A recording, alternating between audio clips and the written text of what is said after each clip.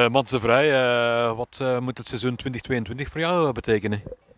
ik hoop vooral veel koersen waar ik mee zelf koers kan maken en graag ook iets meer naar huis nemen. Dat zou toch mijn doel zijn deze jaar. Je gaat dus voor de prijzen? Zeker en vast. Dat is toch denk ik iedereen wel zijn doel om eens een prijs meer naar huis te nemen. Dus dat gaan we toch proberen deze jaar. Hoe is het seizoen 2021 verlopen voor jou? wisselvallig. Er waren goede koersen bij, maar de grotere koersen allee, dan spreek ik over internationale koersen, die waren toch nog zwaar. Dus ik weet waar ik nu aan, aan het werken ben voor in dit, dit jaar goed te presteren. Welke wedstrijden tip je dan, uh, of zijn er met rood aangestipt in jouw agenda?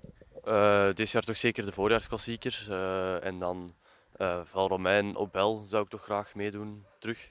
allee, Obel heb ik vorig jaar gereden, Val Romein is de eerste keer dit jaar dan. En dan op het einde van het jaar hebben we nog Gilbert, die zou ik ook graag willen mee rijden. Hoe moeten we jou omschrijven? Ik denk dan als ik de, de, de naam van de wedstrijd hoor, uh, klimmen, dat is iets voor jou? Uh, klimmen, ja, dat kan ik wel savago. Alleen ik ben niet de top, maar een beetje afzien kan altijd geen kwaad. Uh, dus ja, klimmen en gewoon zien dat ik mee in de ontsnapping ben aan het spurten, dat is echt niet mijn ding. Waar hoop je dan te eindigen volgend jaar? Een paar mooie overwinningen, dat weet ik onder andere allemaal. Maar als ik verdere leeftijd bekijk, hoop je nog ooit uh, beroepsrenner te kunnen worden? Uh, zeker en vast. Ik uh, zou in ieder geval beter doen als mijn pa vroeger heeft gereden. Dat zeker. Dat, wil ik, dat is mijn doel. En dan ja, beroepsrenner worden, dat is denk ik iedereen zijn droom. Dus, ja. Krijg je raad mee van je vader? ik leer toch heel veel van mijn vader, zeker in koersen. ik ben iemand die eigenlijk heel dom koerst en dan, gaat mijn, allee, dan zegt mijn pa daarna van ja, ik had het zo moeten doen en zo moeten doen en dan kan ik eruit leren. Daar moet aan geschaafd worden? Ja. Wat zijn je pluspunten? Uh, mijn pluspunt is denk ik dat ik wel heel lang hard kan rijden.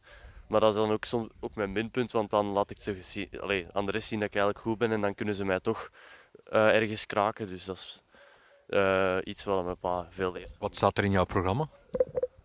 Uh, wat bedoel je? Wedstrijden. Ah, ja, de Ronde van Vlaanderen, dat is toch mijn hoofddoel als voorjaarsklassieker. En dan van Romein, Opel heb ik ook aangeduid als hoofddoel. Wie wint er de eerste wedstrijd voor Maas Gladbeek? Uh, ik hoop ik, maar ik denk dat Rune Das en Simon van Herk ook en Jorben Stoks zeer goede kandidaten zijn ook om te winnen. Oké, okay, veel succes alvast. Ja, dank wel.